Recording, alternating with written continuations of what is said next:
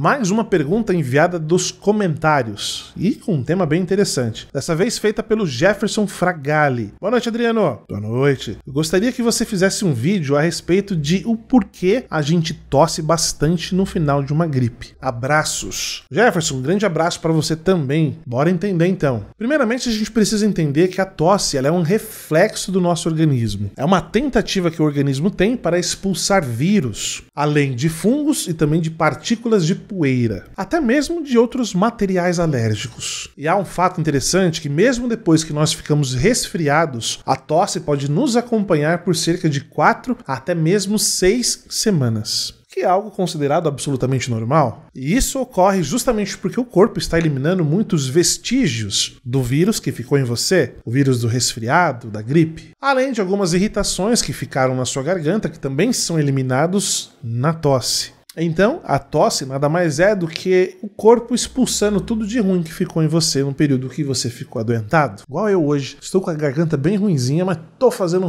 bastante esforço para fazer esses vídeos legais. Eu gosto disso aqui, por isso que estou fazendo mesmo com a voz comprometida.